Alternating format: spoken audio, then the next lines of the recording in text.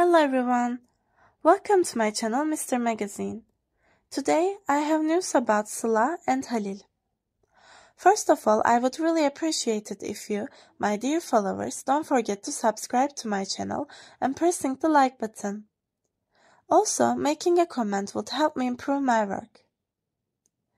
Thank you all for your support and enjoy this video.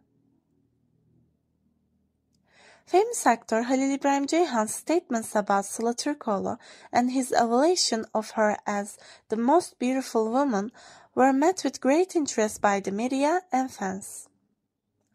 Such statements were considered an intriguing element about the relationship and personal views of the famous couple. Halil İbrahim Ceyhan and Sıla Türkoğlu attract attention as a famous couple who have a wide audience with both their careers and personal lives.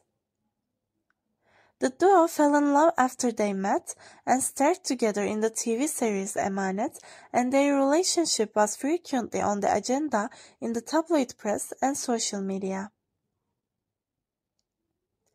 Ceyhan's description of Sıla as the most beautiful woman was considered as a statement expressing his love and admiration for his partner.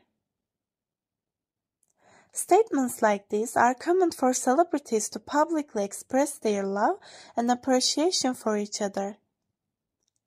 Sıla beauty and successful career have been followed by the media and audience for a long time. Ceyhan's description of her as the most beautiful woman was considered a positive assessment of the talents and external beauty of this beautiful actress. Thank you very much for watching my video so far. I hope you enjoyed it. See you in the next video.